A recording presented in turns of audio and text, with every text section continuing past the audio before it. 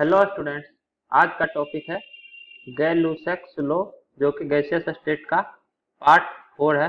यदि आपने अभी तक पार्ट वन टू थ्री नहीं देखे हैं तो हमारे चैनल पर जाके पार्ट वन टू थ्री देख लें। For a fixed amount of gas at constant volume pressure exerted by a gas sample is directly proportional to the absolute temperature of the gas sample तो अगर fixed amount of gas हो और volume भी constant हो मतलब number of mole और volume constant हो तो pressure applied by gas simple जो है डायरेक्टली प्रोपोर्शनल होता है। अब्सोल्यूट टेम्परेचर मतलब टेम्परेचर के डायरेक्टली प्रोपोर्शनल होता है, लेकिन टेम्परेचर केल्विन में होना चाहिए। फिर से वही चीज़ P V equal to N R T मतलब P equal to N R upon V into T number of mole और वॉल्यूम कांस्टेंट है मतलब ये पूरा टर्म कांस्टेंट है तो प्रेशर जो है डायरेक्टली प्रोपोर्शनल होगा टेम्परेचर के। इसको आप लिख सकते हैं pressure equal to K double dash T K double dash constant है। बॉयज़ लो के लिए के कांस्टेंट माने थे चार्स लो के लिए के डैश और गैलो सेक्स लो के लिए के डबल डैश जहाँ पे K double dash directly proportional होगा नंबर ऑफ़ मोल के और इनवर्सली प्रोपोर्शनल होगा वॉल्यूम के। के का value N R upon sorry K double dash का value N R upon V है ना? तो directly proportional to number of moles और इनवर्सली प्रोपोर्शनल टू वॉल्यूम अब जो है इसको आप लिख सकते हैं P upon temperature equal to constant तो P by T equal to constant ये आपका गैलूसेक्स लॉ होता है। मतलब P one upon T one equal to P two upon T two temperature kelvin में होना चाहिए, वही यहाँ पे लिखा हुआ है टी वन के। या फिर आप लिख सकते हैं P equal to K double dash temperature in degree Celsius plus two seventy three क्योंकि टेम्परेचर जो है, ये होता है temperature in degree Celsius plus two seventy three temperature in kelvin अगर फाइंड आउट करना है और टेम्परेचर डिग्री सेंटीग्रेड में दिया हुआ है तो T degree centigrade equal to T degree centigrade plus two seventy three इतना केल्विन होता है। तो टी डिग्री सेंटीग्रेड टेम्परेचर है तो केल्विन में कन्वर्ट करने के लिए टू सेवेंटी थ्री से ऐड करना पड़ेगा। तो ये जो है टेम्परेचर इन केल्विन आ जाएगा। तो वही चीज़ है टेम्परेचर केल्विन में होना चाहिए। तो ये वाला फॉर्मूला है। अब जो है पी वर्सेस टी का ग्राफ तो P versus T P Y axis पे और temperature in kelvin X axis पे है। तो Y equal to K double dash X K dash आपका स्लोप होगा। Y equal to M X plus C C zero होगा इस केस में, क्योंकि इतना प्लस ज़ीरो ही तो है कांस्टेंट कुछ भी ऐड नहीं है इसमें। लेकिन अगर ये टेम्परेचर इन डिग्री सेल्सियस लीजिएगा तो साथ में सी भी आएगा। ये पॉइंट हम चार फ्लो के टाइम ही बताए थे। वहाँ पे बस भी था तो बाई में भी आ जाता, लेकिन कॉन्स्टेंट तो आता था जब टेम्परेचर इन डिग्री सेल्सियस रहता था तो। लेकिन टेम्परेचर इन केल्विन के केस में कांस्टेंट ज़ीरो होगा तो ओरिजिन से पास करना चाहिए। तो डॉट डॉट डॉट ओरिजिन से फिर ये स्ट्रेट लाइन होगा, जिसका कि स्लोप के डबल डैश होगा। लेकिन ये ओरिजिन से स्ट्रेट लाइन क्यों नहीं है? क्योंकि आप थ्योरेटिकली तो सोच सकते हैं कि टेम्परेचर ज़ीरो केल्विन है। प्रैक्टिकली ज़ीरो केल्विन टेम्परेचर करना बहुत ही मुश्किल है मतलब इम्पॉसिबल है ज़ीरो केल्विन टेम्परेचर आप नहीं कर सकते हैं। तो इस तरह से प्रेशर वर्सेस टेम्परेचर का ग्राफ होगा स्ट्रेट लाइन जिसका कि स्लोप के डबल डैश होगा गैर लूसेक्स लो के लिए। तो के डबल डैश कॉन्स्टेंट का वैल्यू क्या है? N R upon V directly proportional to number of mole और इनवर्सली प्रोपोर्शनल टू वॉल्यूम और आपका जो चार्ज लो का के डैश था, इसका वैल्यू आता था एन आर अपॉन पी तो के डैश डायरेक्टली प्रोपोर्शनल होता है नंबर ऑफ़ मोल के और इनवर्सली प्रोपोर्शनल होता था प्रेशर एग्जर्टेड बाय गैस सेंपर तो इसके बाद एक कंट्रोवर्सी देखिए बॉयज़ लो होता है पी भी इक्वल टू के और चार्ज लो होता है v upon T equal to constant v upon T equal to K dash तो अगर आप दोनों को डिवाइड कर दें तो ये हो जाएगा P into T P into temperature in kelvin equal to constant divide कीजिएगा तो ये P into T equal to K upon K dash आएगा।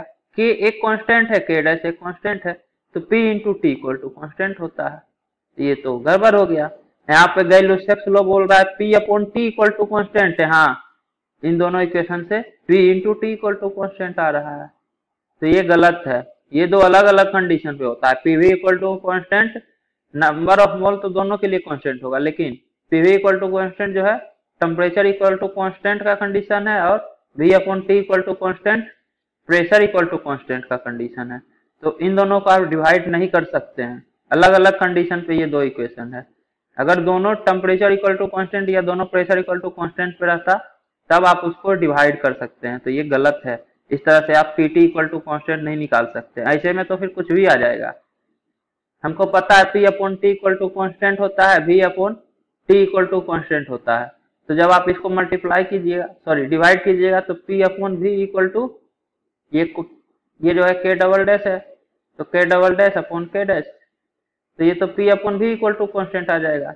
एक कॉन्स्टेंट को दूसरे कॉन्स्टेंट से डिवाइड करेंगे तो कॉन्स्टेंट ही होगा। जबकि बॉयस लो बोलता है कि पी भी इक्वल टू कॉन्स्टेंट तो इस टाइप का कुछ भी नहीं करना, ये सब गलत है। अलग अलग कंडीशन पे ये सारा कुछ है। इसके बाद, ये वाला पॉइंट की having constant volume throughout the process is called isochore तो अगर किसी भी ग्राफ में पूरे प्रोसेस में वॉल्यूम कांस्टेंट है तो उसको आइसोकोर बोलेंगे। सिमिलरली आइसोबार में in a graph having constant pressure throughout the process और आइसोथर्म में constant temperature throughout the process इसके बाद प्रेशर वर्सेस टेम्परेचर का ग्राफ है। V1 वॉल्यूम पे V2 वॉल्यूम पे V3 वॉल्यूम पे। नंबर ऑफ़ मोल कांस्टेंट है। तो आपको V1 V2 V3 का ऑर्डर बताना है। तो आप क्या कीजिए? एक स्ट्रेट लाइन ड्रॉ कीजिए। टेम्परेचर टी के क्रॉसपोंडिंग जिस तरह से चार्ल्स लो और बाइसनो में किए थे। तो भी थ्री के कॉरस्पॉन्डिंग टेम्परेचर टी है। तो प्रेशर आपका P3 होगा V2 का कॉरस्पॉन्डिंग प्रेशर P2 होगा, और V1 के कॉरस्पॉन्डिंग प्रेशर P1 होगा। तो P1 अपॉन टी ये ज़्यादा होगा P2 अपॉन टी से, और ये ज़्यादा होगा P3 अपॉन टी से। क्यों? क्योंकि T तो कांस्टेंट ही है। इस टेम्परेचर के लिए प्रेशर P3 सबसे कम है, और P1 सबसे ज़्यादा है। तो न्यूमरेटर सबसे ज़्यादा है, तभी ना इस सभी का वैल्यू ज़्यादा होगा। तो P1 सबसे ज़्यादा, फिर P2 फिर P3 इसलिए P1 अपॉन टी ज़्यादा, फिर P2 अपॉन टी और P1 अपॉन टी ये जो है K1 डबल डैश होगा। तो K1 डबल डैश ज़्यादा है K2 डबल डैश से, और ये ज़्यादा होगा K3 डबल डैश से। K जो है, ये इनवर्सली प्रोपोर्शनल होता है वन बाई वी के मतलब के डबल डैश कॉन्स्टेंट जो है। तो जिसका के ज़्यादा, उसका वॉल्यूम कम तो के वन डैश सबसे ज़्यादा तो वी वन सबसे कम, उसके बाद वी टू, और सबसे कम के थ्री डबल डैश तो वी थ्री सबसे ज़्यादा तो वॉल्यूम जो है वी थ्री सबसे ज़्यादा होगा, उसके बाद वी टू, फिर वी वन, या फिर ये वाला इक्वेशन लिख दीजिए, pressure equal to K double dash into temperature in kelvin अब टेम्परेचर इन केल्विन कांस्टेंट है पी ज़्यादा कब होगा? A इंटू बी में बी अगर कांस्टेंट है तो प्रोडक्ट ज़्यादा तब होगा जब ए का वैल्यू ज़्यादा होगा। तो जिसका भी प्रेशर ज़्यादा है, उसका K का वैल्यू ज़्यादा है। तो P1 ज़्यादा तो K1 ज़्यादा, फिर K2 फिर K3 और K आपका होता है एन आर अपॉन वी ऊपर वाला कांस्टेंट है तो ये ज़्यादा कब होगा जब V का वैल्यू कम होगा। तो जिस केस में कांस्टेंट का वैल्यू ज़्यादा आ रहा है तो उसका वॉल्यूम कम होगा। ये आपका V1 V2 V3 का ऑर्डर है। या फिर इस तरह से ग्राफ बनाइए। मतलब मान लीजिए प्रेशर P के corresponding temperature T1 T2 T3 है। तो प्रेशर तो कांस्टेंट ही है।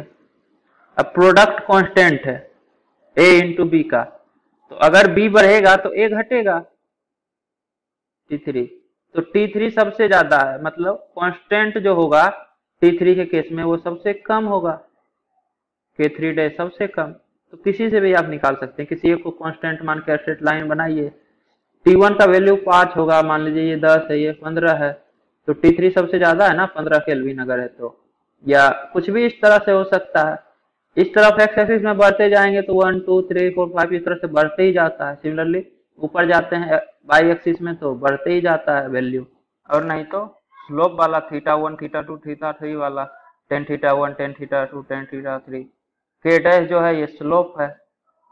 तो के वन के टू के थ्री का वैल्यू पता चलेगा? मतलब K one double dash K two double dash K three double dash का।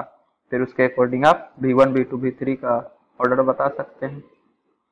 Next, temperature of a certain mass of a gas at 2 atm is increased from 27 degree Celsius to 327 degree Celsius at constant volume what will be the new pressure of the gas तो बोल रहा है कि constant volume पे temperature को जो है 27 degree Celsius से इंक्रीज करते करते 327 डिग्री सेल्सियस कर दिए।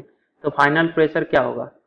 प्रेशर इनिशियल है 2 एटीएम उसके बाद टेम्परेचर इनिशियल है 27 plus two seventy three three hundred kelvin pressure final find out करना है और टेम्परेचर फाइनल है 600 केल्विन कांस्टेंट वॉल्यूम मतलब गैलोसेक्स लो लगेगा।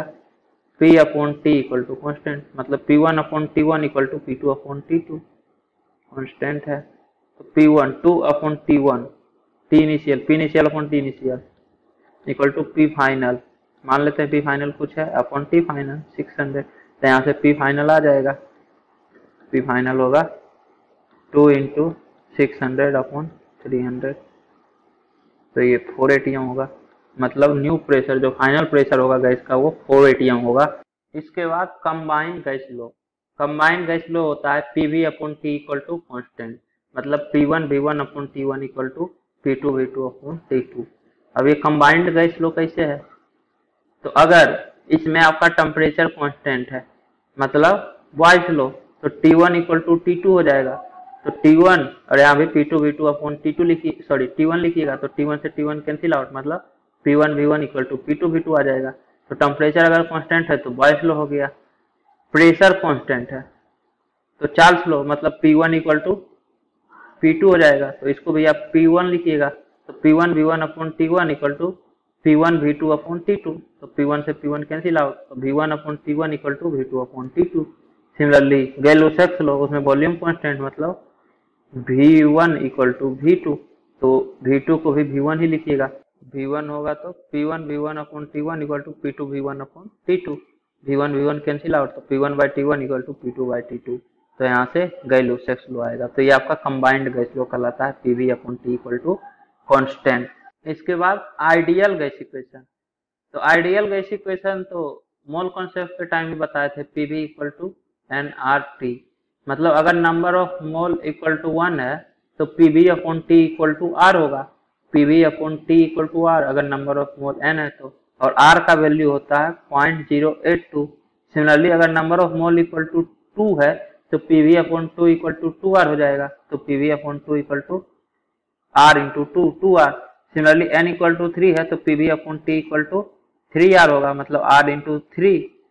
मतलब P V upon T equal to N into R होता है।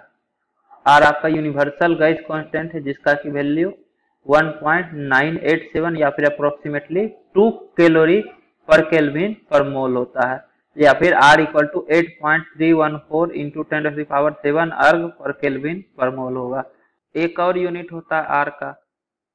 Point zero eight two litre atm per kelvin per mole मतलब अगर pressure litre sorry pressure atm में लीजिएगा और वॉल्यूम लीटर में लीजिएगा तो जो यूनिवर्सल गैस कॉन्स्टेंट आर का वैल्यू होगा वो पॉइंट ज़ीरो एट टू या फिर ये लगभग वन बाय ट्वेल्व होता है। तो कैलकुलेशन इजी करने के लिए वन बाय ट्वेल्व आर का वैल्यू रख देते हैं। तो P V equal to N R T यही आपका आइडियल गैस इक्वेशन है। P V equal to N R T ideal gas equation ये इक्वेशन हम मोल कॉन्सेप्ट के टाइम भी पहले भी बता चुके हैं तो इसमें आपको कोई ज़्यादा दिक्कत होना नहीं चाहिए। इसके बाद whenever an open vessel is heated a fraction of air escape is talk about then take fraction equal to number of mole out upon number of mole initial using the formula number of mole initial into T initial equal to number of mole left into T final तो actually में बोल रहा है कि अगर एक open vessel है, ठीक है, इसको हीट करेंगे तो हीट करेंगे तो इससे एयर स्केप कर जाएगा। तो आप उसमें से ये फ्रैक्शन निकाल सकते हैं कि number of mole out upon number of mole initial मतलब इनिशियली कितना मोल था, उसमें से कितना मोल स्केप कर गया। इस फॉर्मूला से number of mole initial into number sorry temperature initial equal to number of mole left into T left actually में मान लीजिए इनिशियली इसमें एन आई मोल था नंबर ऑफ़ मोल इनिशियल और इस कंटेनर का वॉल्यूम भी लीटर है। और टेम्परेचर टी इनिशियल है। अब हीट किए इसको। प्रेशर तो वन एटीएम ही होगा। ओपन है तो एटमोस्फेरिक प्रेशर वन एटीएम के बराबर। तो हीट किए तो कुछ एयर स्केप कर गया। तो इसके अंदर मान लीजिए, जो नंबर ऑफ़ मोल बचा वो N left number of mole left और टेम्परेचर हीट किए हैं तो टी फाइनल कुछ होगा। टी फाइनल फाइनल टेम्परेचर है। उसके बाद प्रेशर तो वन एटीएम ही रहेगा। पी फाइनल जो है वो तो वन एटीएम ही रहेगा क्योंकि एटमोस्फेयर से ओपन है। और इसके अंदर जितना मोल है वो पूरा भी लीटर ऑक्यूपाई कर लेगा, क्योंकि गैस जो है जितना बड़ा कंटेनर में रहता है, वो पूरा कंटेनर का वॉल्यूम ऑक्यूपाई करता है। तो नंबर ऑफ़ मोल घट इसलिए गया क्योंकि टेम्परेचर बढ़ा है तो कम नंबर ऑफ़ मोल ही वी लीटर को ऑक्यूपाई कर लिया। तो जो ज़्यादा एक्सेस था टेम्परेचर उतना टेम्परेचर पे वो सारा बाहर निकल गया। तो नंबर ऑफ़ लेफ़्ट जो है वो भी लीटर ऑक्यूपाई करेगा तो वॉल्यूम जो है भी लीटर ही रहेगा। अब यहाँ से आइडियल गैस इक्वेशन लगाइए। तो number of mole initial into R into T initial equal to P P initial one atm है, वॉल्यूम तो वी ही होगा। तो N I R T I equal to V one into V या V लिखिए। अब फाइनल कंडीशन है number of mole left इस कंटेनर में number of mole N left ही है, जितना बच गया वही ना है R T final equal to pressure one atm ही है और वॉल्यूम भी वी ही है तो वन इंटू वी तो इक्वल टू वी है। इक्वेशन वन और इक्वेशन टू से N I R T I equal to number of mole left into T final R R से आर कैंसिल आउट मतलब number of mole initial into temperature initial equal to number of mole left into temperature final तो यहाँ से initially number of मोल अगर पता है तो number of mole left पता चल जाएगा। और नंबर ऑफ़ मोल लेफ़्ट पता चल गया तो कितना मोल बाहर हुआ, ये आप बता सकते हैं। इनिशियली अगर एक्स मोल था, उसमें से बाई मोल बचा है तो बाहर कितना मोल चला गया? एक्स माइनस बाई तो number of mole out upon number of mole initial fraction आप इस फॉर्मूला से निकाल सकते हैं। V take fraction using this formula this तो इससे आप फ्रैक्शन बता सकते हैं। इसके बाद एक क्वेश्चन है। An open container of volume V contains air at 300 Kelvin. The container is heated to such a temperature so that the amount of gas coming out is two third of amount of gas initially present in the container. ये first part है second part है gas is coming out is two third of amount of gas finally in the container find the temperature to which container must be heated in two case तो पहला case है कि volume भी है और इसमें अगर इनिशियली एन आई मोल था तो इसका टू थर्ड बाहर चला गया स्केप कर गया जब इसको हीट किए टी केल्विन तक इनिशियली टेम्परेचर 300 केल्विन है। इसको अगर टी केल्विन तक हीट किए तो two by three number of mole out हो गया इनिशियल का। तो two by three N I बाहर हो गया। तो नंबर ऑफ़ मोल लेफ़्ट कितना होगा? नंबर ऑफ़ मोल लेफ़्ट होगा। Number of mole initial minus जितना मोल बाहर हुआ तो two by three number of mole initial तो इस कंटेनर में वन थर्ड बचेगा। N by three sorry one by three number of mole initial अब आप ये फॉर्मूला लगाइए। Number of mole number of mole initial into temperature initial 300 kelvin equal to number of mole left one by three into number of mole initial यही आपका बचा है। जब to third बार हो गया तो वन थर्ड ही बचेगा ना। Into T final initial initial cut गया तो टेम्परेचर फाइनल हो गया 600 केल्विन मतलब इसको सॉरी 900 केल्विन 300 इंटू थ्री मतलब 900 केल्विन तक फ़र्स्ट केस में हीट किए। तब जो है टू थर्ड गैस कंटेनर से बाहर आ गया। दूसरा है कि amount of gas finally remain in the container तो इसका मतलब हुआ कि जब इसको हीट किए हीट किए हीट किए हीट किए तो फाइनली आपके पास number of mole final N F है। तो इसका टू थर्ड बाहर आ गया। तो two by three number of mole final जितना बचा है, उसका टू थर्ड बाहर आ गया।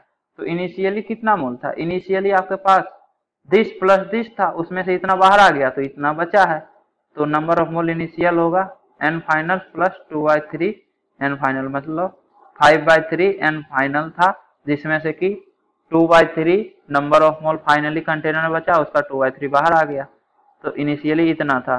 तो number of mole initial five by three number of mole final into temperature initial three hundred equal to number of mole left तो इसके अंदर finally number of mole F number of mole finally left इतना ही माने ही into temperature T kelvin तक मान लीजिए इसको हीट किए तो यहाँ से N F N F cancel out हो गया। टेम्परेचर होगा 500 केल्विन तो अगर आप 500 केल्विन तक हीट कीजिएगा तो जितना गैस इस कंटेनर के अंदर बचेगा, उसका टू थर्ड बाहर आ जाएगा। उसके लिए आपको 500 केल्विन तक हीट करना पड़ेगा। तो सेकेंड केस का टेम्परेचर होगा 500 केल्विन तो यहाँ पे गैलोसेक्स लो भी कंप्लीट हो गया। उम्मीद करता हूँ कि आपको ये वीडियो पसंद आई होगी। यदि आपको ये वीडियो पसंद आई है तो इसे लाइक करें, कमेंट करें और अपने दोस्तों के बीच शेयर करना ना भूलें। Thank you.